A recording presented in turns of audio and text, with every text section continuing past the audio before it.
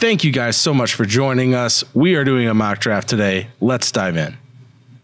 All right, so I'm I'm drafted at five. Jason's uh, at eleven. Uh, just to kind of give you guys some different perspectives on what's going on. Uh, my strategy this year for sure is to hope that Travis Kelce falls to me. Oh. And if you're watching along, he didn't. So um, wow. again, we're using Sleeper, which is absolutely fantastic to use. You can do your mocks anytime on there. If you're bored at work, you can just log on and do a quick, you know, settings, eight teams, 10, 12, whatever you want. And it's best to just get reps doing these mock drafts. And so I'm going in saying, hey, I want Travis Kelce. I want that number one tight end. I don't care where I pick. And I'm drafting at five. And the first four were McCaffrey, Kelce, Jefferson, Kupp. So, okay, not what I was expecting. Wow. So best available: Ja'Marr Chase, Austin Ekeler, Tyreek Hill. Uh, Burrow's currently dinged up at least a little bit, and so that just drops Chase a little bit for me. Austin Ekeler had all those catches last year, so that's who I'm going with. They, they should have a very similar offense. We saw what what they've done uh, with the new offensive coordinator. So happy to have Ekeler at five, just not what I was planning on. Yeah, uh, after Ekeler goes Chase. Jonathan Taylor, AJ Brown, Stefon Diggs, and Bijan Robinson. By the way, stay away from Taylor. That's a mess. Yeah, it is a well. I don't know that whole back problems. I never said I had back problems. Back and forth. It's all weird. A little juvenile right now. Um, so I'm sitting at the 11 spot, and I am looking at Tyreek Hill, Saquon, CeeDee Lamb, and Nick Chubb, and I am salivating over a couple of, of these running backs. I also love CeeDee Lamb here. Tyreek, personally, I wouldn't be surprised if there's a suspension involved at some point for Tyreek. He is in, I believe, the court system for an assault down in Miami on a dock for slapping a guy. Um, don't slap people. Um, so with that, I'm gonna take Saquon, considering he's under contract.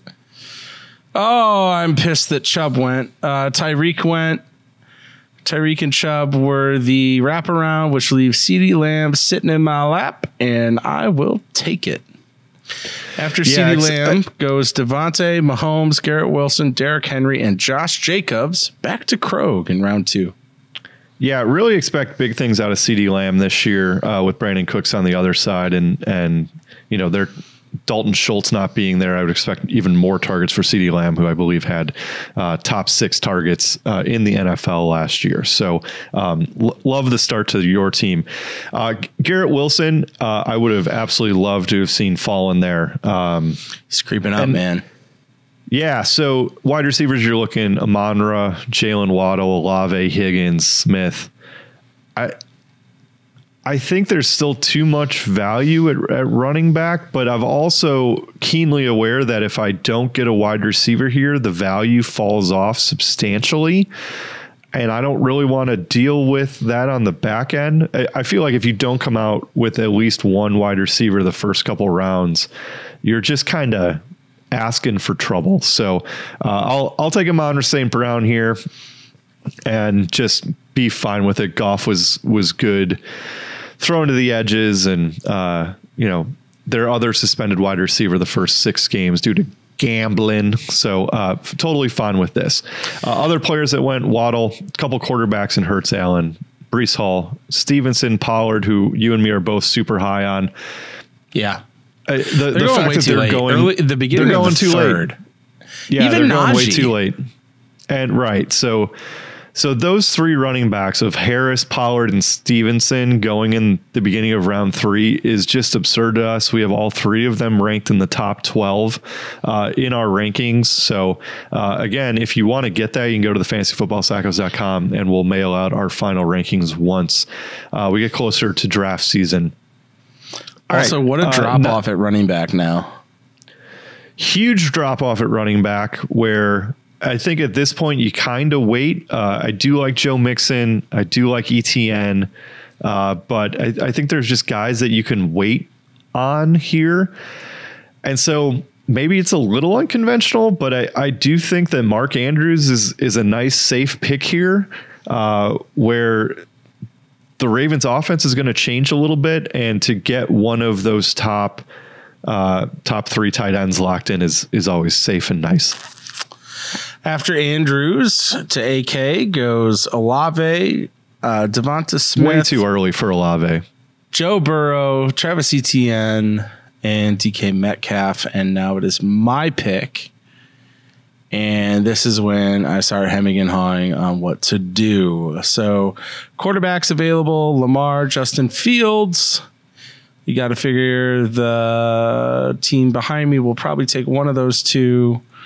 Uh, tight ends are Hockenson and Kittle. I think if I don't take either of those with one of my next two picks, both the quarterbacks and the receivers, that they'll probably be gone. I really want. So Yeah, I mean, you- so, so you you want a tight end or quarterback coming out of round four here? Is that kind of your plan? My plan is if you're yeah, if you're sitting on the back half of the draft, you probably want either a tight end or quarterback in your first four picks. Our general piece of Sackos draft advice is you need to have an advantage at either tight end or quarterback. Um, and you can't be average at both because then you're not setting yourself apart from the other teams in your league. Um, I really love with, what, and with four four quarterbacks are gone, two tight ends are gone, so that's leaving you with a top three tight end or a top five quarterback. Yeah. Um, so you kind of kind of got to make a choice here. Yeah, I, I, I bet that the uh, the CPU is probably going to take a uh, if they take a tight end, it'll be Hockenson. So I'm going to see if I can't roll the dice. Um, I'm going Kenny Walker because of the upside, because of what he did last year. Charbonnet's a rookie. I am hoping that And Walker. and Char- Charbonnet's hurt. Walker also Yes. has a groin issue. My assumption is is that they're getting him right, but Charbonnet is a little bit concerning. So I, I do actually think that helps Walker's value, presuming uh, that groin bounces back. Everybody loves a groin bounce back. I like Mixon here. I like Aaron Jones. I like Gibbs. I, really I still like don't understand Keenan why Allen. Joe Mixon's so low. Uh, who has perennially been, been you know a top top twelve guy. Uh, him still being available in the fourth round doesn't make any sense to me at all. Actually, No. And now he's on my team. so so much for your quarterback or tight end theory. Uh, we'll see who gets back to me. You know, it's still early enough. Yeah, it's true. And and two quarterbacks just went before I'm picking in Lamar and Justin Fields, which kind of pisses me off, quite frankly, uh, because I would have loved one of those two running quarterbacks. Uh, I don't mind Herbert, but uh, I think it's just a smidge too early, uh, and especially with only two teams between me coming back that don't have a quarterback, I will hope that Herbert falls back to me uh, in round number five. So lots lots going on here, right? Is it Amari Cooper with you hope that Deshaun bounces back? I did see something uh, on Twitter. Uh, I forget who it was, but they um, spliced like the the top uh, eight attempts from like passing distance that Deshaun threw last year. Six of them were all overthrows, and seven and eight like attempts downfield distance wise were both intercepted. So Watson was Oh. bad last year, and so like Amari Cooper clearly has the upside, um, but I just think that like I, I think I'll just wait on wide receiver a couple picks here, knowing that I have at least one uh, one high upside, and, and I'm going to focus uh, on some other places. So uh, I know it doesn't make any sense to take Dobbins with Mark Andrews.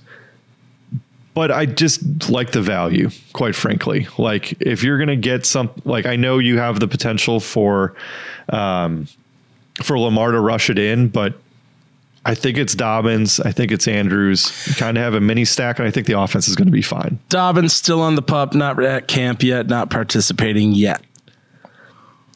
He'll be fine. Uh, and then the the other player um, that I mean Herbert again went a pick right before I came back, so kind of getting screwed on the quarterback luck here. Um, but I, I'm going to take our guy that uh, we both love more than anything else this year, and that's Alexander Mattison, who there's just we, we have him ranked in the top 12 unless they sign somebody, which I don't think they are. I think he's a bona fide league, win- league winner that's going way too late. It's just crazy. Yeah, also gone Hopkins, Amari, Miles Sanders, DJ Moore, Dameon Pierce, Christian Watson, TJ Hockenson went right before Herbert went. Uh, Krog took Mattison. After Mattison was Kittle, McLaurin, Drake London, who I was hoping to land as my wide receiver too. Uh, went three picks before me, and then went Cam Akers and Kyle Pitts. Yeah, and I feel like Cam Akers has really actually risen up quite a bit in the last couple weeks, uh, and I think people are starting to to realize what he did at the end of last year. Yeah. So, uh, you know, I know this is being simulated. The person drafting behind me would never take Jerry Jeudy here. Although I feel like sometimes this thing can do nonsensical, nonsensical because it's all based on ADP. And if you look at teammate right now, they have four receivers, a quarterback, and no running backs. So, um, if we were drafting with humans, I would probably stay away from Jerry Jeudy uh, and take a tight end here or Trevor Lawrence. But we are not. So I will take Jerry Jeudy here. And two Who- running backs especially went. Tim, Tim, Tim Patrick being hurt, um, and like I think that only helps Jeudy's value. Who, uh, in case you weren't aware, Patrick just tore his Achilles, so he's not there. And then KJ Hamler actually they cut him due to a heart issue. He's they're planning on hopefully him coming back, but it's basically the Jeudy and Sutton show in Denver. Yeah, I was going to say I don't know if uh, you could say that Tim Patrick, you know, was necessarily hurt. He's TKO'd, like he is done for the year. Um, Yeah. I and this is, you know, I, I know he's not, you know, one of the top three guys, but Dallas Goedert was a man amongst boys when he played last season. Double digits, routinely, you know, high scoring game in Houston, put up 24 fantasy points in PPR. I was a big fan of Goedert going into last season. And again, we already talked about you have to have an advantage at one of the two positions. I think Goedert is an above average tight end. I'm going to take him here in the sixth. Yeah, totally fine. I, I have no problem with that. You had to get him or, or a quarterback there, considering your flex spots already filled. So now you're kind of kind of chasing on the back end here. Um, I uh, don't have a quarterback. Um, I I think uh, I will happily take Trevor Lawrence here with the upside of Ridley back, ETN out of the backfield. You still have Christian Kirk there. Trevor Lawrence is is ascending, and I think this is just. I didn't want the the team on the end there to get him. Very very happy having Trevor Lawrence in in round six, and I think he's you know a top eight guy, right? One, two, three, four, five, six, seven, eight. Yeah. uh, quarterbacks have gone. I, I think it's really important to have one of those top eight guys, and I think he's kind of the cutoff there. Uh, so happy to happy to get him where I did. Yeah, he's the end of the tier for sure. Yep. All right. Uh, another guy we've talked about at least a little bit. Uh, you know, somebody that had a lot of down luck. So Kam- Kamara is there. We're expecting him to be suspended. Uh, I already Meeting have with three Goodell running backs this week.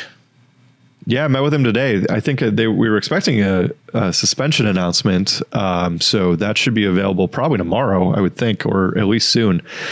Uh, but the other uh, player that I think is just an easy pick here is Diontae Johnson, who had the eighth most targets last year. He had uh, you know over 140 targets, I believe, each of the last two years. He had zero touchdowns last year. Uh, I do think him and Pickett uh, get more on the same page. Uh, it's an easy uh, plug him into wide receiver two. We target targets. I think he'll have plenty of them. So to- totally comfortable with with him as a wide receiver two, even in round seven. Yeah, uh, Deshaun goes. Deshaun Watson goes one pick right before me.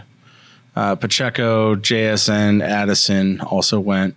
Um, was kind of hoping Deshaun would fall. Uh, every year since coming into the league, uh, where he's played a full season, he's finished as a top five quarterback. Um, he looked rusty at the end of last year. I mean, the guy sat 11 games. Anybody would be rusty. So either way, sad. I missed him. Uh, at this point, the best remaining QBs are Dak, to uh, Anthony Richardson, Kirk Cousins, Aaron Rodgers, Geno Smith, Danny Jones, Jared Goff, Russell Wilson, Bryce Young, and a bunch of other dudes. So the disrespect for Daniel Jones is strong. I, I think there's a very He obvious sucks. pick here that, that I'm that I'm pretty sure that you're going to go with. there's an easy pick here that I'm going to go with. Yeah, Ah. well, uh, it's a lot of pressure. I am thinking about two different guys, and I want to draft them both. Um, I will say that at this point, I am 1000% punting at quarterback because nine have now gone. I'm one of three teams without one. I'm not in a hurry to draft one. Uh, granted, Sleeper's going to draft a bunch of other dudes, but I'll pick one up in one of the later rounds. I am between Alex, James Cook, Rashaad Penny, and Michael Thomas. J- James Cook is the easy answer. Yeah. E- abs- easy answer. We, we've talked about it on our other pods. He has the upside of a of a mid tier wide receiver, or sorry, running back too easy, uh, with very little competition. Nyheim Hines being hurt. Uh, it seems like they're going to give him the ball. Yeah, Damien Harris is there. Not not that concerned. Uh, upside for Cook is great. Yeah, another TKO for Na- Nyheim Hines, uh, injured in a freak jet skiing accident. So I don't know. Evidently, people can frown on wave runners. If anyone's ever listened to Daniel Tosh, um, I really need a receiver, and I really need some quarterbacks. Kadarius Toney is not healthy. Brandin Cooks, Quinn Johnson, Gabe Davis, Michael Thomas, Juju. Man, I am hurting at wide receiver right now. I am going to still punt at quarterback, I think. Would you go Dak here? Uh, I, I think it's pretty easy to take Dak or Tua, who who are the the top of the next tier, where Tua is going to keep Hill and Waddle and Gesicki satisfied in that offense as long as he's healthy. Uh, Tua is kind of the next. Like when he played, he was really good, whether he can stay healthy or not. Yeah, I, I think you know round eight with your team complete, um, and the way that I don't know, sleeper kind of works is that there will be those neither of those guys will make it back probably. um, so it Yeah. depends on, on how you want to categorize it, right? Right. I think you're right when you say neither of them make it back. Um. Yes. All right. Fine. You talked me into taking one of the two of them. I will take Tua because I think he has more weapons. Um. Yeah, and you and you you can kind of avoid the Lamb and Dak stack, I guess, a little bit. So if they have a bad week, you're not automatically out of it. Taking the L. Uh, right. So that kind of diversifies you a little bit. You know, sometimes it's nice to stack, but sometimes it's nice to not stack. I like stacking the tight end more than I like stacking receiver. Yeah. Yep. I agree. Um, all right. So Cooks went right after David Montgomery, who, uh, you know, if he takes on the Jamaal Williams role in Detroit's offense and he has double digit touchdowns, that's a fine pick in round eight. Uh, Dylan Penny, who you talked about, went as well. Uh, you you brought him up. Uh, wide receivers of, of choice here. Um, I, I'm going to take Michael Thomas uh, because I just think that if he stays healthy, he's a wide receiver two at worst, but he might not stay healthy. But still, a, a fine dart throw uh, this late in the draft. Um, Ingram went. Um, nothing really else to note. It, Gabe Davis, the the continual breakout seasons coming for him. Uh, whether it ever actually happens is a complete guess on anybody else's part. So my team's complete. Uh, I have three running backs. I have three wide receivers. I have a tight end. I have a quarterback, and now it's kind of dart throws for the next, you know, four or five rounds where it's just take upside and and hope it hits. Right? I mean, so uh, dart throw Yeah. number one, uh, Khalil Herbert, who uh, nobody knows what's going to happen with the Bears running back position. Could be him. Could be uh, Roschon Johnson. Could be D'Onta Foreman. No idea. When Herbert's played, um, he's been really good. So dart throw number one. Speaking dark throws, dart throws. Uh, excuse me. Um, there's a couple guys I really like that I want pretty much on all my teams. There's a lot of late receivers. Uh, I have no idea if Rashod Bateman is going to be the guy or Zay Flowers will be the guy for or Odell for or Odell for Baltimore. Uh, Zay Flowers went the pick before me. Rashod and Odell are both still available. Either way, I don't think that that team. I mean, it's Lamar. He's going to run it a lot, and you have J.K. Dobbins theoretically. Um, I just I don't know who the guy is, so I'm going to stay away. But what I think is a potentially a better, potentially league winning dart throw is De'Von Achane for the Miami Dolphins. Um, there's really nobody there to compete with. Uh, I mean, I guess Raheem Mostert is 75 years old and still playing running back. Um, so he's there, but either way, I'll take Achane as the better dart throw. Um, yeah, it should be noted Mostert did sign a two year, $7 million contract. He finished as RB 27 last year. Isn't um, he 30? uh, good question. He's 31. Still yeah. fast as hell, though. Yeah. Um, man, there's some guys I like here still. Uh, round 10. I need. I mean, I'm still. I'm still sitting on two receivers. That's pretty bad. Uh, it needs needs to be addressed. But I said, as I said, I don't know which one is going to be the one in Baltimore. I really like Skyy Moore, but I still feel like I could wait on him. Man, Jameson, Elijah Moore. I I'm still doing it. I'm I don't care if it's a reach. I'm gonna go Skyy Moore. Bam. Could, Could be, be the wide receiver one in KC. You just don't know. Jameson Williams, if he wasn't suspended for six games, probably would have taken him. Yep.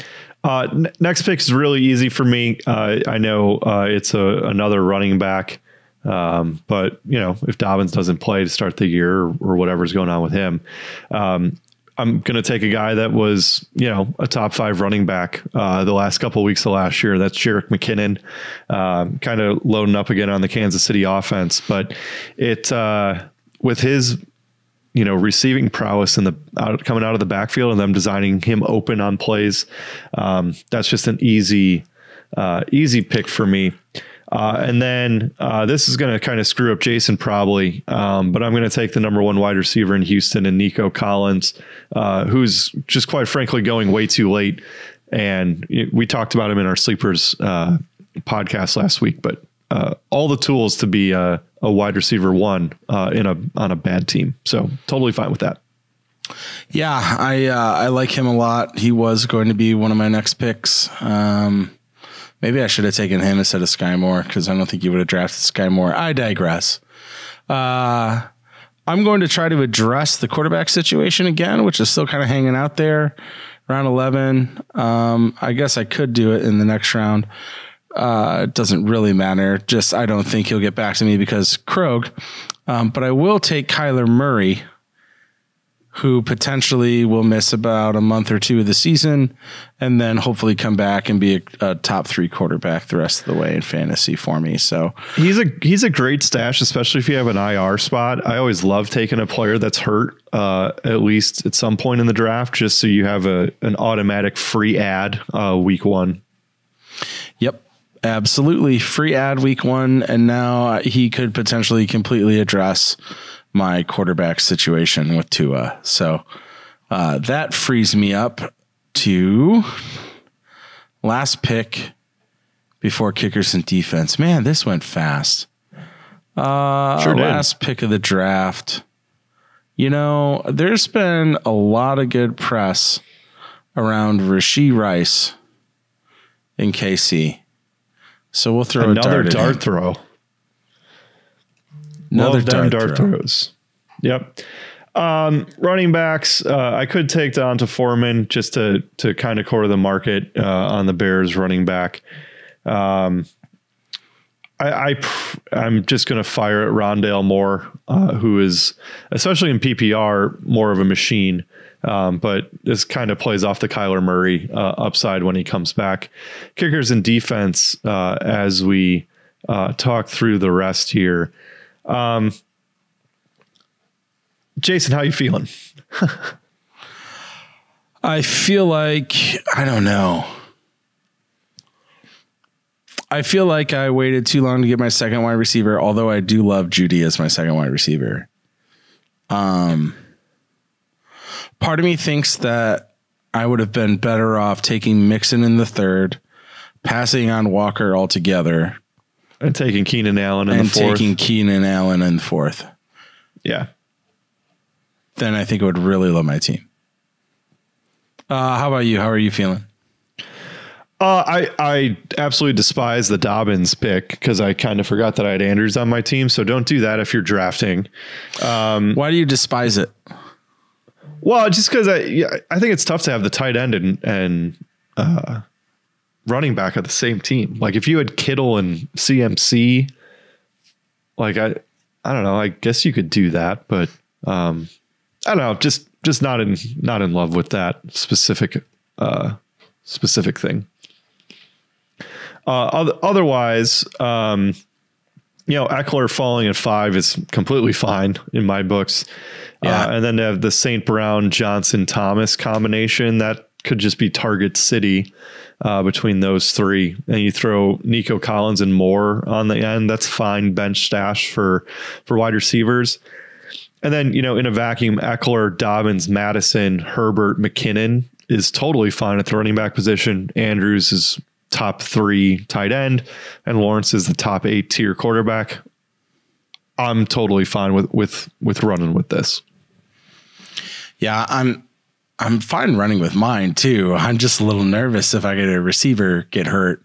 Uh, if Lamb and Jeudy, either one of them go down, honestly, I'd be I'd be pretty nervous. Um, I would definitely be hawking the waiver wire week one, picking up whoever the stud wide receiver is that breaks out. Hopefully, hopefully it's Yeah, Guy it could be Moore like- or it could be- Rice, you know. Or it could be, you know, Metchie down in Houston, right? Yeah. Who were, you know, where Collins and, and Metchie aren't getting drafted really, No, or, you know, they are really late. They're going to have to throw to somebody. yes, I mean, uh, they're, they're not going to throw to Dalton Schultz 20 times a game down there. No. So, like, so, you know, one of those wide receivers is going to be fine. So, I, I think both of them should be drafted uh, in your leagues. Um, but I, it would not be surprising at all to see Metchie be the, the pickup um, after week one. So, yeah, I, I just think, you know, I think Goedert is a saving grace for you there. Uh, I think two was fine. Kyler Murray, I like the stack late um, just to open up that IR spot. And yeah, it's just uh, repetition's the most important thing is when it comes to draft. Go on sleeper. It's the easiest thing to mock. The computer does it for you. You don't have to be in a room with a bunch of auto drafters or, you know, wait for one guy to make seven, you know, seven minute decision or whatever. It just does it for you. Uh, you, you and the computer. So, um, yeah, definitely go on sleeper. It's the best, uh, best app, uh, whether it's on your phone, you can do it online, uh, off your desktop to, uh, just mock things out and try different things and figure out what works best for you. Yeah, plus you get to invite your friends, which is what fantasy football is about, which is kicking your friend's butt at it. So It's true. One, right. I mean, pre preseason football starts uh, this week, and it is it's back. I'm excited. It is back. Saquon has a signed contract. I think his ADP will climb from 111. Uh, it should anyway, in my mind, given the fact that he is now under contract. I wouldn't be surprised to see him work his up towards way up towards the top eight or nine players. I, th- I think him and Jonathan Taylor will flip They should anyway, right? very, very, very easily. Yeah, Especially To- to the point where- yeah. Yeah, I mean, uh, it would not surprise me to see Barkley be be the third guy going uh, in the running back position for sure. I'd, I'd say it's between him and Chubb for me. So Yeah. All right, guys. Well, thank you so much for uh, watching and listening along as we do a mock draft.